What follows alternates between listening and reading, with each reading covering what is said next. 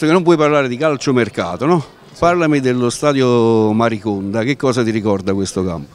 Sì, eh, per me è uno stadio importante perché ricorda la mia infanzia. Ho iniziato a giocare su questo campo quando, quando, quando gli avversari mi buttavano a terra mi ricordavo tutte le ferite che, che, avevo e quindi per me è stato importante anche perché mio padre giocava anche qui e quindi è uno stadio rappresentativo per me. Quando tuo padre giocava però le tribune erano dall'altra parte. E che ti raccontava di quelle partite?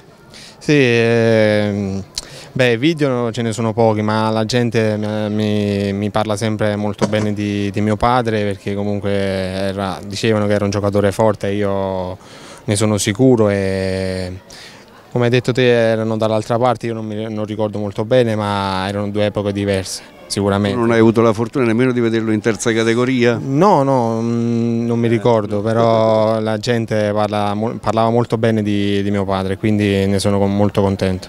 Io ho avuto la fortuna di giocarci nell'ultimo periodo quando lui con due ginocchiere, perché aveva entrambe le ginocchia insomma, operate, sì. però si sforzava sempre di giocare e fare gol. Tante movenze sue oggi sono tue, eh, però quello che ti ha inculcato. Io ricordo ancora tante interviste quando scalavi eh, di volta in volta insomma, le posizioni, diceva sempre resta con i piedi per terra, usava l'espressione serinese, ne devi mangiare ancora tanto di...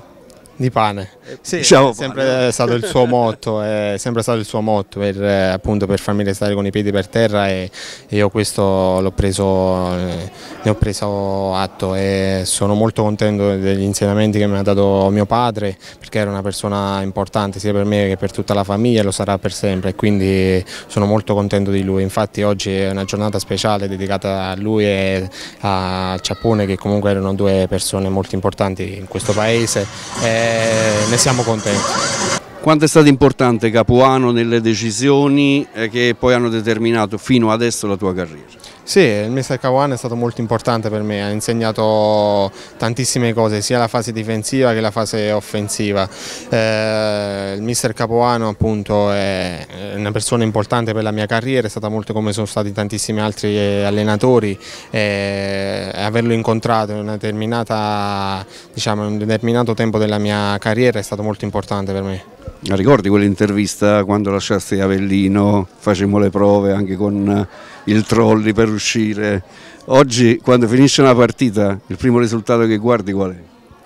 Sì, eh, ovviamente guardo tutto, tutto quello che, che, mi, è successo e partire dalla, dalla, Serie D è sempre molto difficile perché comunque si scalano tante categorie, si impara tantissimo e, e arrivare a, a rappresentare l'Italia all'Europei per me è stato il massimo della mia carriera, ovviamente ci sarà ci sarà ancora tanto da, da, da, da fare e spero che andrà tutto bene.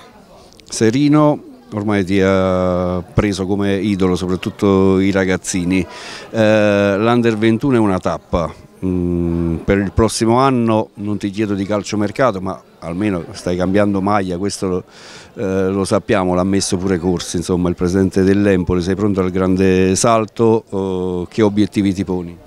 No, il mio obiettivo è sempre quello di, di, dare il massimo e come ha detto il Presidente Corsi che comunque ci sono delle trattative in corso e vedremo queste, in queste settimane cosa, cosa succede.